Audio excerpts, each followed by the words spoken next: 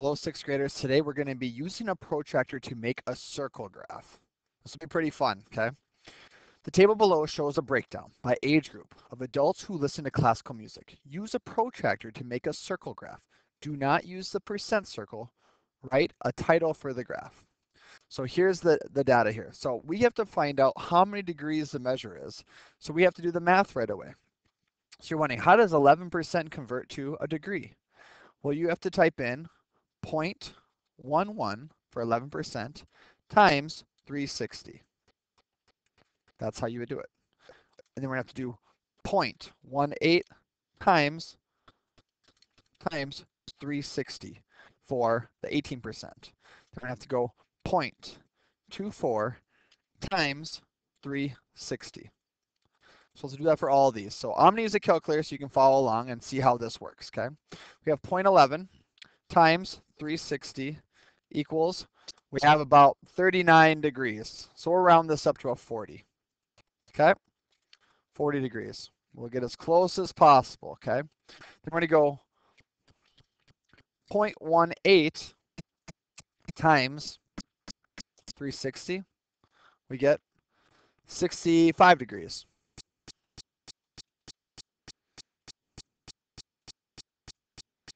We can do a 40 down here for this 11%, right? Because that'd be the same degrees. Then we have a 24, so it'd be 0.24 times 360 equals 86. We'll round that down to 86 degrees. Okay. The 20, we got 0.20 times 360 equals 72 degrees. And then the last one is 0.16 times 360 equals, we'll round that up to 58. Now before we get going, we should add all these up to see if it even equals 360, right? So we have 40 plus 65 plus 86 plus 72 plus 40 plus 58 equals 361. That's close enough. So this is how we're going to graph these. So the 11%, we need a 40 degrees. And when you're doing anything with graphing, you have to always start with a, a line right here to start with. And now we'll, we'll make sure to measure 40 degrees. So right there is our 40 degree mark. Connect it right at the middle. Now I'm going to rotate our percent circle. So it looks, sorry, not a percent circle, I apologize, our protractor. So we're at zero again. So we have to get a measurement of 65 degrees. So that would be right here between the 60 and the 70. Going to connect right at the 65. I'm going to go rotate this again. Okay. Let's see how this one is 86. So 80, 85, 86, roughly there connect the line. Keep on cruising along. We need a 72, so I'm gonna get my line again. And when you have a pencil, you can just make a mark little right, mark here, mark there, and then draw a line. But I got a computer, so I'm gonna go a little faster. So I'm at 72. 72 would be right about there. I'm gonna go ahead and connect it. I'm gonna just rotate this again clockwise. And if you have questions with this, I'll probably ask you to refer back to the video because this is pretty easy as long as you stay consistent with your rotating. I'm at a 40 here. And the last one should be 58 degrees. Let's see how good I was with my measurement. You were watching. Maybe I made a mistake. And it's not exactly 58. We look like we're about 55 here. I was close. I was three degrees off. And if I was correcting your work or when I am correcting your work, I'm not going to be too off. I'll probably give you about five degrees on both sides. So just keep that in mind. Let's take a look at this right. There's some questions that go with this now. It says on average, about 8 million adults listen to classical music on the radio each day. Estimate how many adults between the ages of 35 and 44 listen to classical music. Well, let's see here. 35 to 44 is right here. That's 24%. Okay and we're on question A, 24% is pretty close to 25%, right? So I'm going to round it to 25%. And 25% is really close to one fourth, isn't it? And one fourth means you're dividing by by four. So when I have 8 million,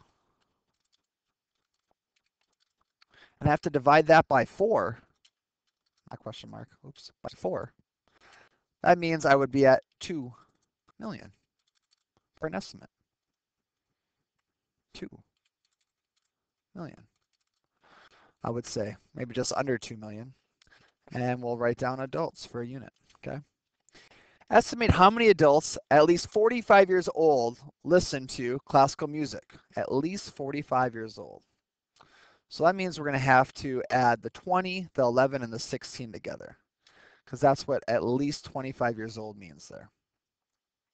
I don't know where my calculator went. So I have a 20 plus 11 plus 16. That equals 47%. Do you guys see at least 45 means I have to add these three up. If I'm adding those three up, that means I would, oops, wrong problem. There we go. Sorry. Um, that means I would have to take 8 million and I'm going to divide it by um, half. Divide this by 2 which would equal 4 million for an answer. So this would be 4 million adults.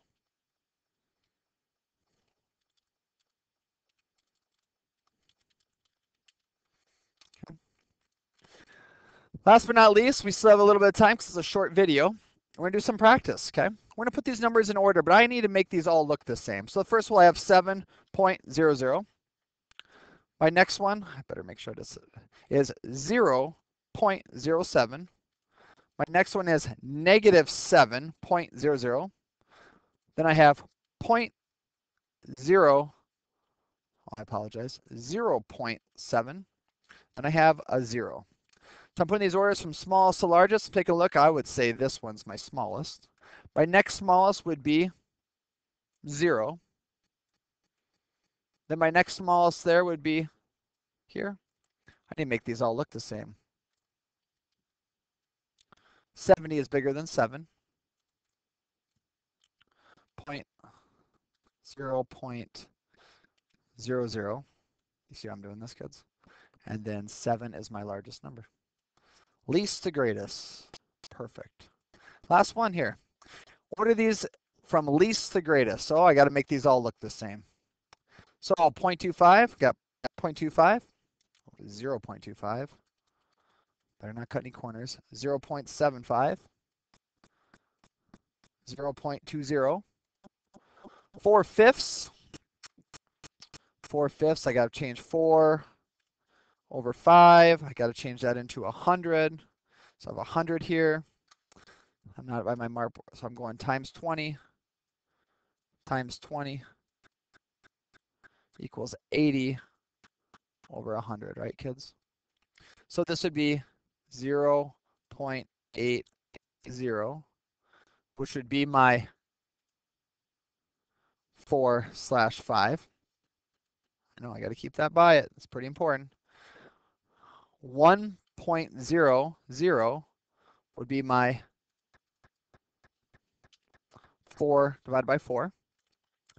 I've got 0. 0.06 I have 0.18 and 1 tenth, that's an easy one, 0.10.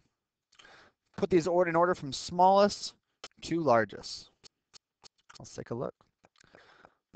1 tenth is pretty small, but 0.06 is really small because it's 6, then I have a 10.